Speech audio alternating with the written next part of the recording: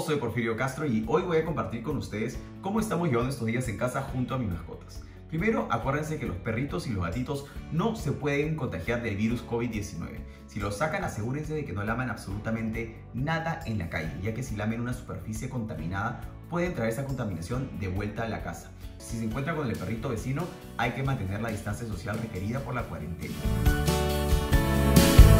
regresen a casa tengan todo listo para poder limpiarles las patitas súper bien y ustedes también dejar sus zapatos en el ingreso de la casa junto con las cadenas en algún lado. También tengan la mascarilla y de repente guantes a la mano. Los perros, acuérdense que estaban acostumbrados de repente a tener otro tipo de rutina, de repente a salir mucho más seguido. Así que en verdad hay que planear y programar en nuestro día, pasar tiempo con ellos, sea jugar con ellos con la pelota o simplemente darles un montón de atención durante el día.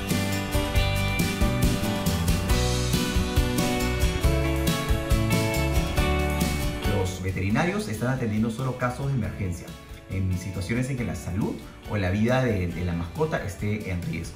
Todavía pueden comprar comida en centros de abastecimiento como supermercados y bodegas. Es momento de también darle un montón de atención a, nuestros perritos ya que ellos también están pasando por cambios en su rutina es importante que nosotros estemos al tanto de, al tanto de sus necesidades. Espero que este video les sirva y que cumpla con las normas.